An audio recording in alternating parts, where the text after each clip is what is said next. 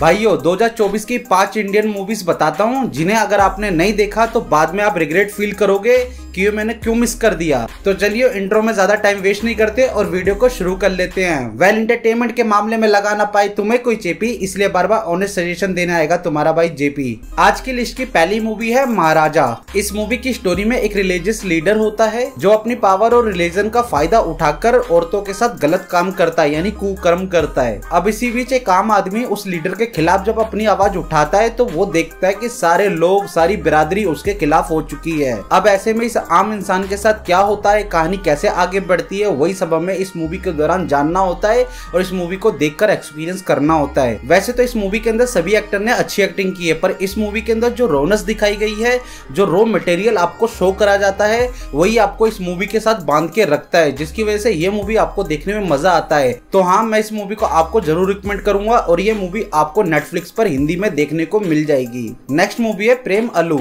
ये मूवी एक light hearted romantic movie है जिसे देखकर आपके दिल में थोड़ी थोड़ी सी गुदगुदी मचेगी। इस मूवी के अंदर एक लड़का है जो कॉलेज के टाइम पे ही अपना दिल तोड़वा बैठता है। आई I मीन mean, वो एक लड़की को प्रपोज करता है और लड़की उसे रिजेक्ट कर देती है। जिसके बाद वो पढ़ने बाहर चला जाता है और वहाँ उसकी मुलाकात होती है फिर से एक लड़की से और लड़की को देखते ही वो अपना दिल दे बैठता है। अब ये लड़का उस लड़की को पटा पाएगा की नहीं और उसे पटाने के लिए क्या क्या कुक्रम करता है वही सब हमें इस मूवी के दौरान एक्सपीरियंस करना होता है। मूवी देखकर आपको हाँ आपको ही कह रहा हूँ, ये मूवी देखने के बाद आपको अपने पहले प्यार की याद आ जाएगी कि आपने उस समय ऐसे ही कुछ कुक्रम किए थे। बाय द वे मूवी के एक्टरों ने अपने अपने किरदार के अंदर जान फूक दी है, जिसकी वजह से आप इस मूवी से बंधे रहते हैं। वैसे तो इस मूवी के कई सारे सीन ऑलरेडी सोशल मीडिया पे वायरल हो चुके हैं, जिन्हें आप कहीं ना कहीं देख चुके होंगे।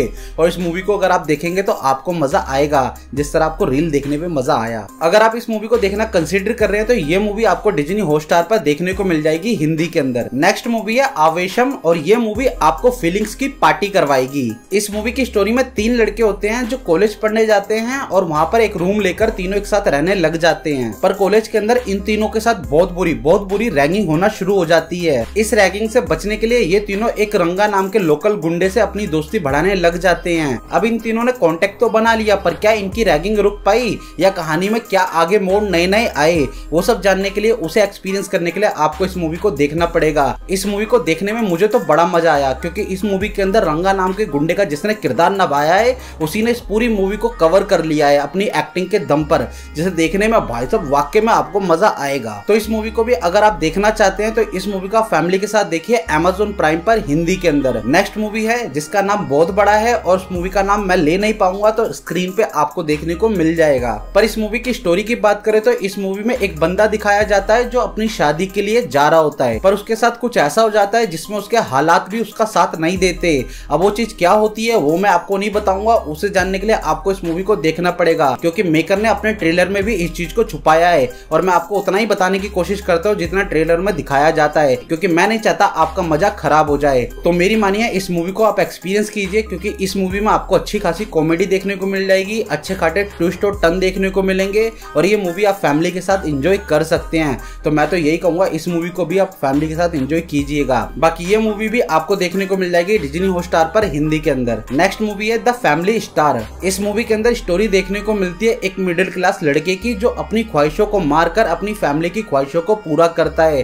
दैट मीन आप समझ सकते हैं आपकी और मेरी तरह। पर इन्हीं चीज़ों के बीच में उसकी लाइफ में एक लड़की आती है, जो उसके गरीबीपन के ऊपर मिडिल क्लास के ऊपर एक बुक लिखती है, वो भी सीक्रेटली पर इस बुक के बारे में जिस लड़के को पता चलता है तो आगे क्या होता है, वही हमें एक्सपीरियंस करना होता है इस मूवी के दौरान। मैं सीधी बात कहूँगा मूवी का फ़र्स्ट हाफ़ आपको काफ़ी ज़्यादा इंगेज करके रखेगा। वही सेकेंड हाफ़ थोड़ा सा और ऊपर लेके जाएगा, फिर उसके बाद डाउनफॉल लेता आएगा। पर ऑल ओवर एक्सपीरियंस को तो मूवी का अच्छा है और ये मूवी फैमिली फ्रेंडली है तो इसे भी आप फैमिली के साथ देख सकते हैं। ये मूवी आपको देखने को मिल जाएगी जियो सिनेमा पर हिंदी के अंदर। तो इस वीडियो के लिए इतना ही रखते हैं। अगर आपने इनमें से कोई मूवी देखी है तो मुझे कमेंट्स में बताना आपका एक्सपीरियंस कैसा रहा। बाकी मैं मिलता हूँ आपको अगली वीडियो में। जब तक के लिए बाय और हाँ पिक्चरों के लिए थोड़ी लालच ज़रूरी है। सब्सक्राइब